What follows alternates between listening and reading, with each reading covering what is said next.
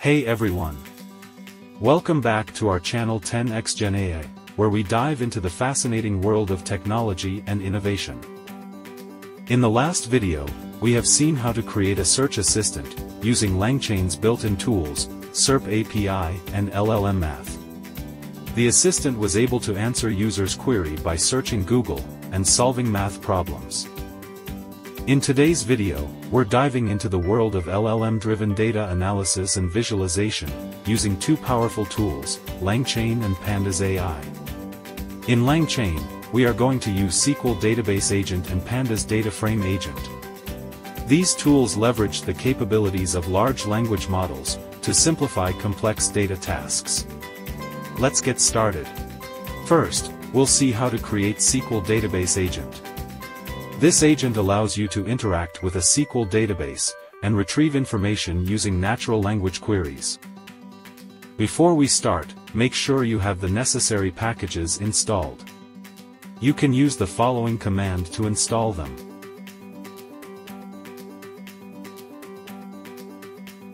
Now, let's dive into the code. We import the necessary modules for creating the SQL database agent, and working with LangChain and OpenAI. Let's load the environment variables from .env file, which contains OpenAI API key. Alternatively, you can set the environment variable in the notebook itself, like below. Next, create an LLM with chat OpenAI method from LangChain. Here, we are using GPT 3.5 Turbo model with temperature set as 0.7. We'll be using the Chinook database as an example. You can download it from the link provided in the description. This is the diagram of database, with various tables and relationships between them. We will interact with some of these tables using natural language queries. We set up a connection to Chinook database, using the SQL database URI method. And initialize a toolkit for working with SQL databases, which takes the database and OpenAI model. Next, we create a SQL database agent using Create SQL Agent, and configure it with the OpenAI model and the toolkit we just initialized. Verbosity is set to true for debugging. Agent type is agenttype.openai underscore functions, to enable interaction with OpenAI's models. Now that we have our SQL database agent set up, we can use it to run SQL queries using natural language. For example, we can ask to describe a table named playlistrack available in the database.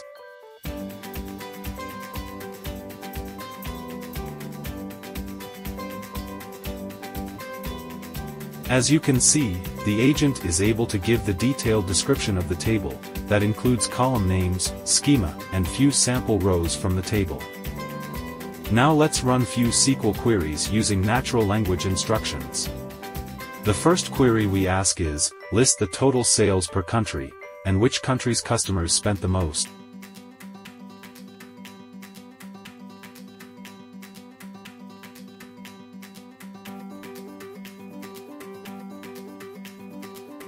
And yes, the agent is able to list country-wise sales, and the country with highest spends.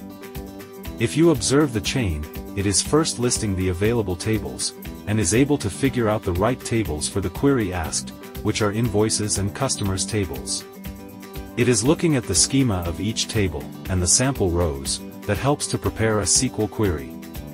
This is the query the agent has prepared and run for us. Now, we will give another query to show the total number of tracks in each playlist. The playlist name should be included in the result. This time it has selected three tables and prepared a query, where it is taking count of total tracks by joining the tables, and here is the output. We got what we asked, playlist-wise total number of tracks. You can play around with more queries like this and check the results. Now, we will see how to create Pandas data frame agent. Creating a Pandas data frame agent is a great way to leverage language models, and perform data analysis tasks on a Pandas data frame, using natural language. First, import the required libraries. From LangChain agents import, create pandas data frame agent, and also import the pandas library for data manipulation. We will be using Titanic dataset for this demo, which you can download from the link given in the description. Let's load the dataset into a pandas data frame DF. Next, create a pandas dataframe agent using the create pandas dataframe agent library that we imported. As in the SQL database agent, pandas dataframe agent is also initialized with the same set of parameters, like this. Now let's run a query with the initialized pandas dataframe agent. Let's ask for the number of rows in the data frame. The agent will interpret the query and provide a response. And here is the answer. The data frame has total of 891 rows, which is correct. If you notice, the agent is making use of Python REPL AST tool, to generate and run Python code for the given query. Let's ask, how many people have more than three siblings?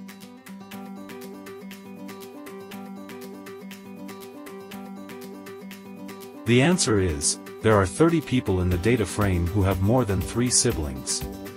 You can check the Python line of code that is generated for this query. Now ask one final question, what's the square root of the average age?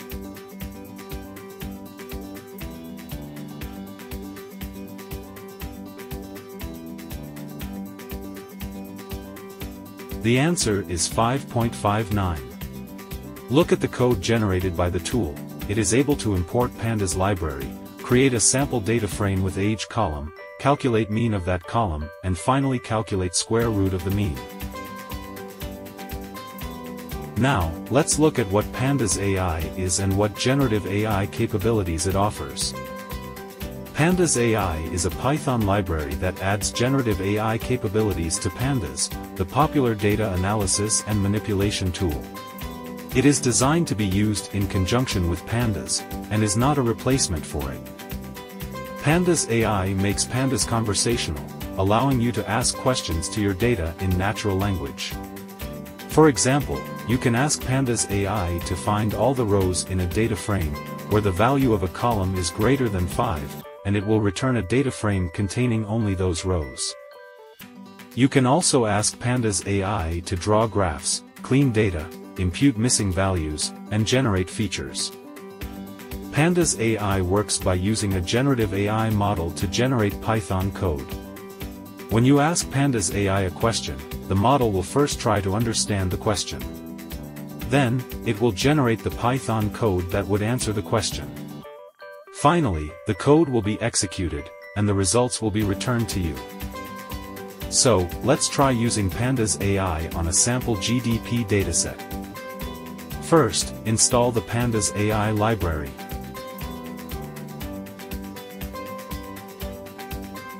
And import Smart Data Frame from it. Also import Pandas library.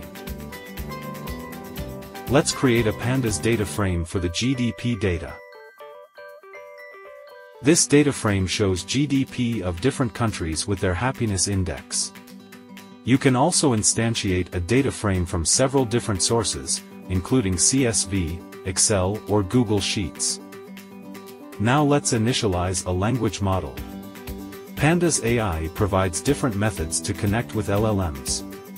Let's import OpenAI from pandasai.llm and create an instance. Make sure the OpenAI key is set as environment variable. Now that we have instantiated the LLM, we can finally instantiate the smart data frame, which takes the pandas data frame we created and the LLM. A smart data frame inherits all the methods and properties from the original data frame DF, that means you can run all pandas native operations, using smart data frame. For example, you can filter the country by United States like this, just as you do in pandas. Now, let's chat with our data using chat method of smart data frame. Our first question is, return the top 5 countries by GDP. Here you go, it's very quick. Now ask another question, what's the sum of the GDP of the two unhappiest countries? It's really lightning fast. Let's see what code it is generated. First of all, it's importing all the dependencies required, and analyzing the given data in four steps, prepare, process, analyze and output. In the prepare step, data preprocessing and cleaning is done if necessary. In the process step, data manipulation is done for analysis such as grouping, filtering, aggregating, etc. In the analyze step, it conducts actual analysis. In the last step, it returns a dictionary with output type and output value, where output type can be text, data frame, or a plot. An example is shown here how the output is returned. In this case, the output type is text and the value is a string. Here is the function it is created for the given question.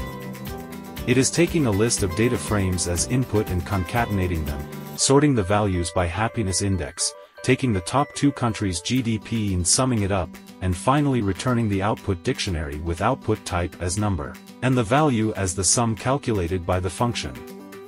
At last, it is calling this function and saving the result in a variable. Now let's see how to use Pandas AI to easily plot a chart. We'll ask, plot a chart of the GDP by country. It has given a nice bar chart, with country on x-axis and GDP on y-axis. As an alternative, you can use shortcuts. Shortcuts are functions that avoid you to write a prompt and do the magic under the hood for you. For example, you can use plot bar chart shortcut to generate the same chart, providing the x-axis and y-axis fields like this. So for example, if we want to visualize as a pie chart, you can instead call the plot pie chart shortcut, passing the fields we want to use as labels, and the one we want to use as values. Sometimes, you might want to work with multiple data frames at a time, letting the LLM orchestrate which ones to use to answer your queries. In such cases, instead of using a smart data frame, you should rather use a smart data lake. The concept is very similar to the smart data frame, but instead of accepting only one DF as input, it can accept multiple ones. Let's import Smart Data Lake from Pandas AI. Create a data frame employees underscore df, with employees data, that includes employee ID, name and department. Create another data frame salaries underscore df, with employee ID in salary columns. Now create a smart data lake with these two data frames, and a config that takes in LLM parameter. Let's chat with our data lake. The first question we ask is, who gets paid the most? It is able to identify that Olivia is the one who gets paid the most. Let's look at the code generated in the backend. It has created a function that merges the two data frames on employee ID, locating the maximum salary and the corresponding name of the employee, and returning the output dictionary. We have seen that when we instantiate a smart data frame, we can pass a config object as the second argument. This object contains custom settings that will be used by Pandas AI when generating code. Let's look at some of the important parameters. Save underscore logs is one of the config parameters. By default, all the logs are written to pandasai.log, in the root of the project folder. This behavior can be modified by setting this to false. Verbose is another parameter to print the logs in the console as pandas AI is executed, which is false by default. Now the most important parameter is enforce underscore privacy, which defaults to false. If set to true, Pandas AI will not send any data to the LLM, but only the metadata. By default, Pandas AI will send 5 samples that are anonymized, to improve the accuracy of the results. This is very important, if your data contains sensitive information, that cannot be sent over the internet to LLM. Save underscore charts is another parameter to save the charts generated by Pandas AI. It defaults to false. You will find the charts in the root of your project, or in the path specified by save underscore charts underscore path parameter. Enable underscore cache parameter is used to enable caching, which is true by default. If set to true, Pandas AI will cache the results of the LLM, to improve the response time. If set to false, Pandas AI will always call the LLM. Use Error Correction Framework is another parameter to decide whether to use the error correction framework or not. It defaults to true. When set to true, Pandas AI will try to correct the errors in the code generated by the LLM, with further calls to the LLM. It depends on another parameter called max underscore retries, which indicates the maximum number of retries, when using the error correction framework. The default number of retries is 3. When set to false, Pandas AI will not try to correct the errors in the code generated by the LLM. Another important parameter is custom prompts. You can use this to override the default custom prompts used by Pandas AI. There are two types of prompts that you can override. The first one is generate Python code. This is the prompt that is used to generate Python code from a natural language query. Pandas AI uses this prompt as the standard prompt for the first query. Correct underscore error is another prompt that is used to correct the generated Python code. Whenever the code generated by Pandas AI is not correct, an exception is raised, and a new call to the LLM is made with this prompt, to correct the error. To create custom prompt, create a new custom prompt class, inherited from base prompt class, like this. In this example, we are creating a new inherited class, my custom prompt, which sets up a custom prompt to be used by Pandas AI. It also accepts dynamic values from the user. This class can be called when creating smart data frame, with generate Python code key as shown here. Callback is another parameter, which takes functions that are called at specific points, during the execution of the Pandas AI class. They can be used, for example, to get the code as soon as it is generated. Pandas AI comes with a few built-in callbacks, that can be used to get the generated code. The std out callback prints the generated code to the console as soon as it is generated. This is the example of std out callback. The file callback writes the generated code to a file as soon as it is generated, and this is the example of it. That's it for this video. To summarize, we've explored SQL database and Pandas data frame agents from LangChain. We have also seen the features of Pandas AI library and how to work with it. I hope you enjoyed this video. If you have any questions, feel free to drop a comment below. Please like and share the video to other tech enthusiasts. And if you haven't already, please subscribe to get updated on more tech insights. Stay tuned, and keep exploring.